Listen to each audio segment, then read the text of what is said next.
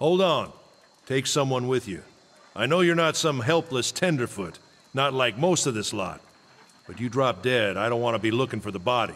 Got a schedule to keep. Calisca.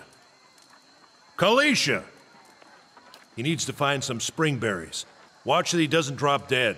No promises. What kind of guide says something like that? Kind you can afford. Don't listen to her. You're in good hands. And I pay too well, if anything. Off with you. Heodan should have supplies. See that you're equipped before you head out. We're in harsh country. Get your berries and hurry back. And if you get so much as a tickle of wind, you drop everything and you run. Something in the air tonight. If it's a Biawac, we'll shelter in the ruins. Hut dwellers be damned.